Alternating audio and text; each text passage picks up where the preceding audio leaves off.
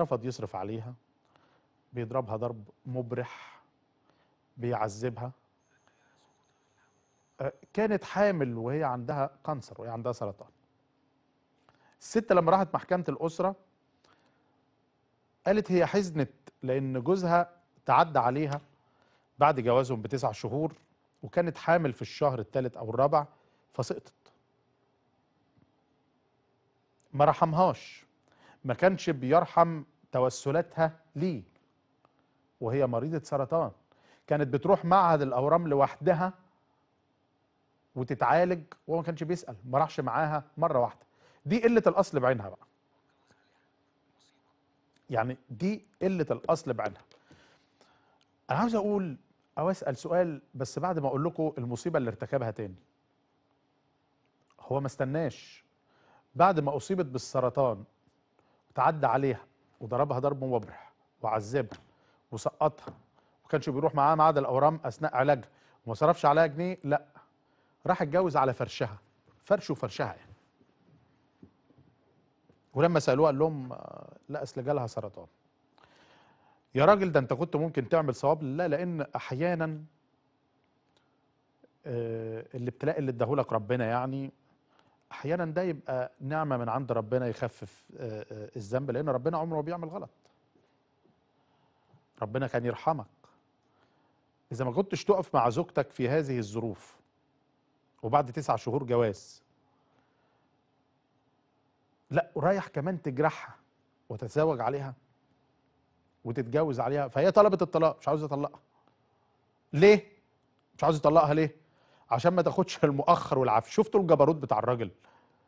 عمركم شفتوا بصراحة شديدة يعني آه، آه، إن إحنا أنا محرر حوادث القضايا من زمان من سنة 2000 مثلا واحد. مثل هذه القضايا أو مثل هذه الجرائم أنا بسميها دي أو بطلق عليها الجرائم الإنسانية. ما كناش بنشوفها قبل كده. ما كناش بنشوفها قبل كده. أنا عرضت قبل كده واقع الحقيقة زي ما في قلة أصل في وفاء. سيدة زوجها كان مريض فشل كلوي فما كانش بيقدر يطلع كوبري مشاه عشان تعدي تروح ال- ال- ال- المستشفى. كانت بتشيله على ظهرها وتطلع بيه كوبري المشاه عشان توصل جوزها المستشفى. والله كانت بتشيل جوزها. وتطلع بيه كوبري المشاه عشان توديه المستشفى. يغسل كلى. زي ما في وفاء في قلة أصل. وأسوأ شيء في الدنيا قلة الأصل. للأسف الشديد.